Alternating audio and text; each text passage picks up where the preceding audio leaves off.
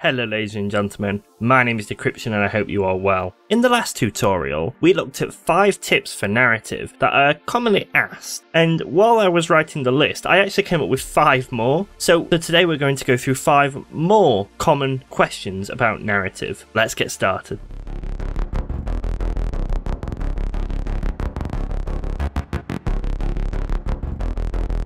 So for the first question, so you will see I have these two sisters here, and when I walk up to them I want it to point at the camera at either sister and talk to them. But when I play it, the camera goes down to the bottom and looks at their feet. Really, really odd. If I skip it, it goes to the other one, and you might just have with one NPC in the dialogue at once, and it will just glitch out. Now, there are a multitude of reasons for this, but the one thing they all share in common is narrative can't find your actor for whatever reason. So in my case, I have this little trigger here that starts the dialogue. I can put it anywhere, it's nothing to do with those. So what I need to do is to tell narrative, this is sister 1 and this is sister 2. And the typical thing narrative uses is the tags in the actors. So you can see this sister here is working and she has a tag named Yumi.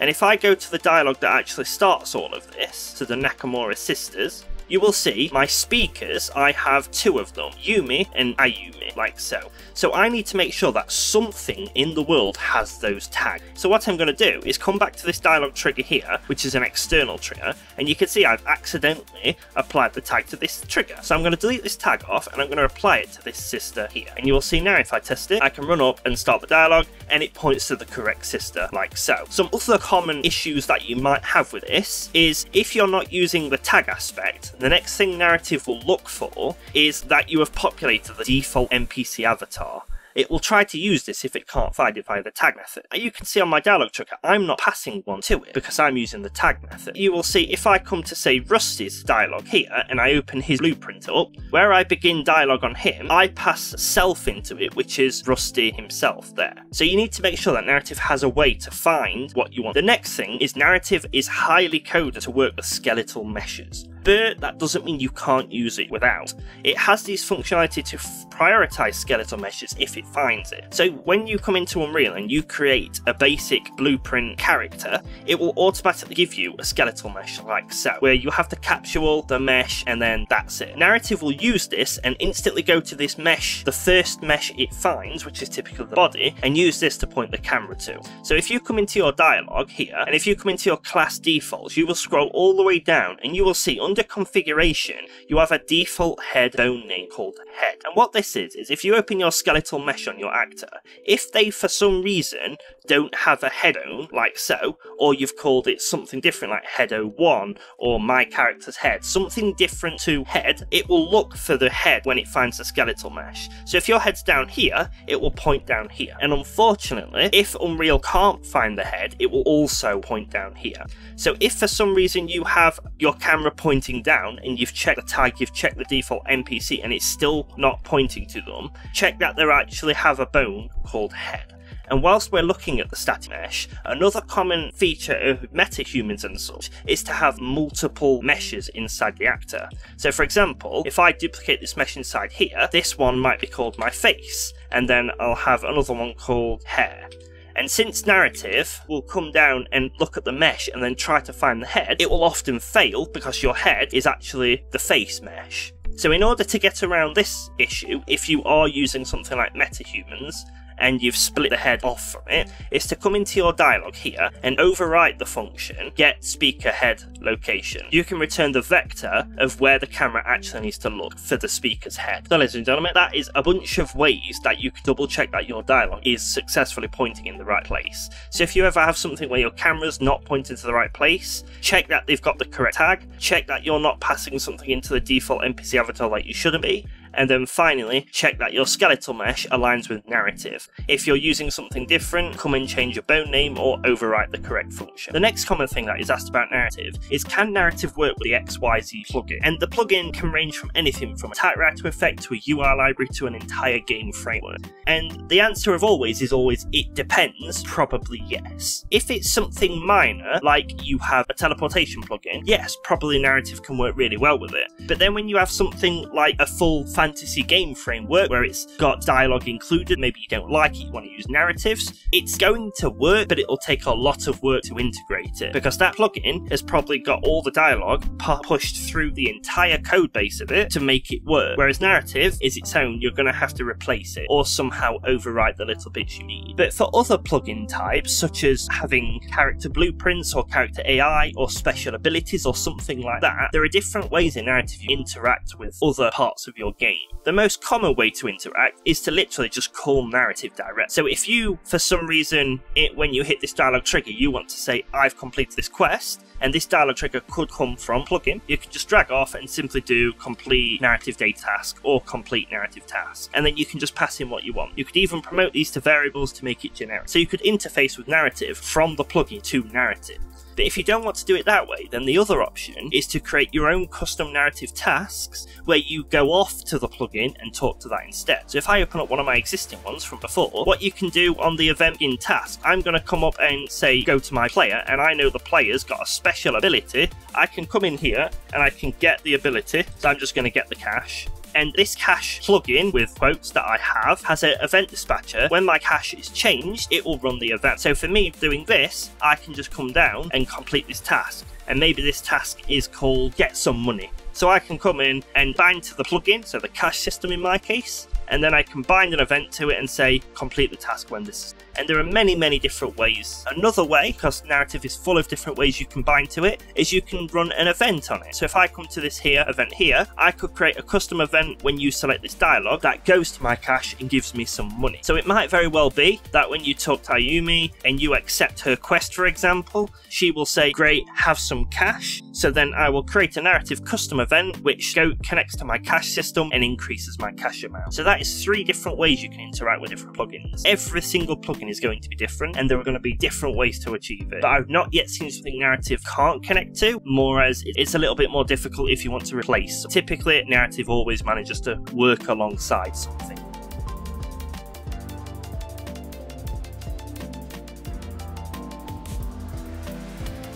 The next common question is if narrative can display its dialogue uh, in the style of an anime game, where you have one character one side with a static image and then another character another side with another static image, and then the text will line up at the bottom, there's no 3D cameras. And yes, you can really change narrative to do anything you So if I come into my narrative default UI, here, you will see where it starts rendering the actual text, it has all the details of the line in place. So what you can do is you can easily modify the base dialog line object either in C++ or create a blueprint object and you can drag in say the current scene image like I have here.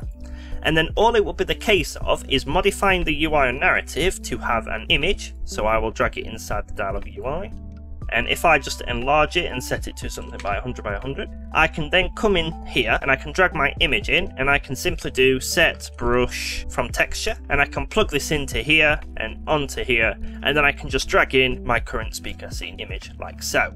And then if I open up say my Nakamura Sisters dialogue. And if I come into my class defaults, you can see inside the speakers, I've already added a current scene image for these NPCs, so when they're speaking, I can show an image. So if I come in and grab whatever this green face is, and whenever that actor is speaking, You'll see it's visible by default, I should have just made it invisible. That's fine, if I talk to them, it shows the green thing because that actor is speaking. If the other one shows, it shows white because they don't have an image. So all you will do, in order to make it act like an anime style game, is just full screen it down one side, like so. And then if I set the width to, I set the width halfway, you could add one or two of them and then display each image there.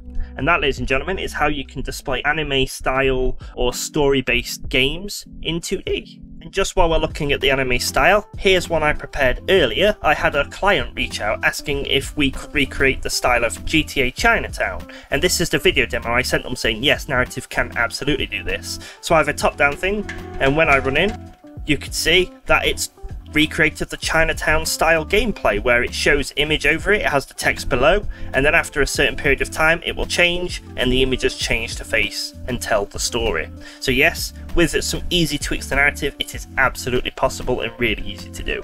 So another common issue I do see people have is when you use the speaker avatar functionality of narrative, and what that is, is you can see my character is a first person mess, I'm just using the mannequin arms, which are okay, but they don't look fantastic. But yet, if I begin dialogue, I suddenly gain a body, which is odd, and that's the narrative speaker functionality. So if you want your actual dialogue speakers to be different, animate different, or anything like that, it will allow you temporarily replace your your speakers with avatars. And it's really easy to set up because all you do is come into your dialogue, and in your class defaults, against the speakers or the player speaker info, you have the speaker avatar class and the transform. And all you do, so you'll see if I come down to my player, is you can see I have assigned a BP player avatar, which is just a blueprint with a, a skeletal mesh inside of it. That is the epitome of what my player should look like in the game but it's got no other functionality, nothing at all. And all it does is animate, and I've put it in there. The keen-eyed of ones of you, and I didn't notice this until somebody pointed it out as well, see if you can tell the issue here. So if I run up and talk to him, it all looks good.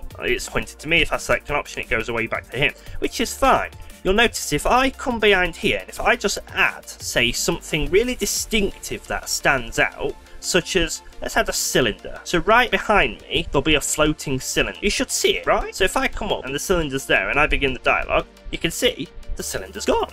And if I break out using Shift F1 and eject, I'm in the middle of nowhere. If I press F to jump back, you can see my character's nowhere near it.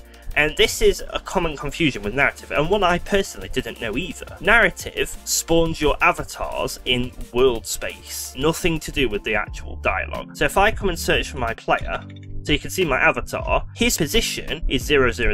That is completely different to the position in front of this character here. And that is actually the avatar transform here.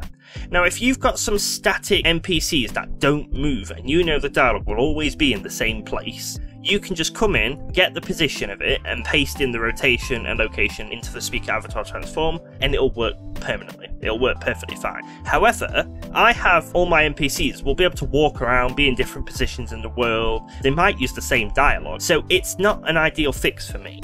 So instead, what I'm going to do is, because my player is still here in the middle, but they're just invisible, is I'm going to come and overwrite the function that spawns the avatar, and then I'm going to tell it to move. So in my dialogue here where I want to do it, and of course you can do this on your master dialogue as well, is I'm going to come into the functions and I'm going to overwrite the link speaker avatar.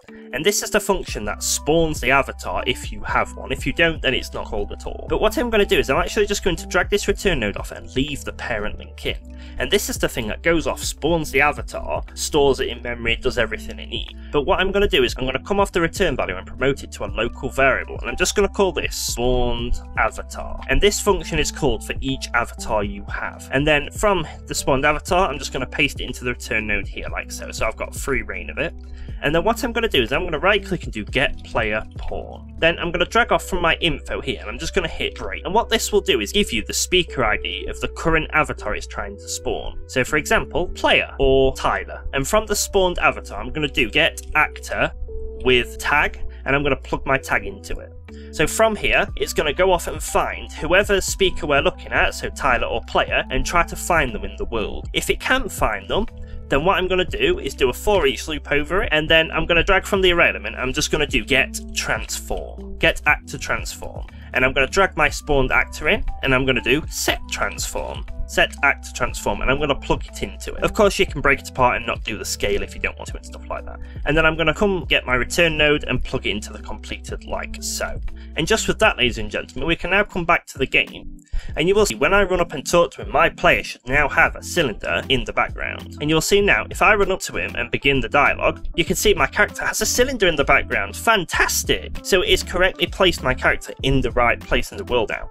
We can break off and we can see, oh, he's floating a little, but that's just because my pivot points are different. The pivot point of this guy's in the middle, the pivot point of this guy's at the feet, so that will just be off. That's just something I fix in the blueprint but you can see he is now spawning with the dialogue. And if I skip through it all and end it, there you can see I'm back to normal, everything is correct. That is the common misconception about the speaker avatars. It is also very well possible for you to turn this speaker avatar transform into a speaker avatar offset instead. And then you can just do all of that in the C++ if that's what you're confident doing. And the final tip we're going to go through, ladies and gentlemen, is the option to change how the camera acts when you're in and out of dialogue. So you can see if I currently run up to Tyler here, you will see it faces the NPC, and when it's the player's turn, it faces the player. But if you think of a game like Skyrim or Fallout, you never really see the player, it always focuses on the NPC only. And narrative has stuff like this you can change a build in, and with some small modifications, you can actually make it do anything you want.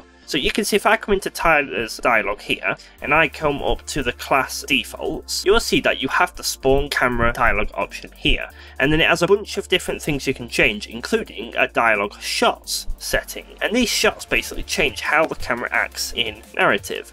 So conversation, if you hover over it, will be in the center of both people so you can see them side by side. The next one you've got is over the shoulder, so that's more like Fallout 4's where it's just over the shoulder of the person looking at the other one and then it switches round. The next is the speaker where it just focuses on the speaker and the final one is world transform where you literally stay in the world where you want the camera to be.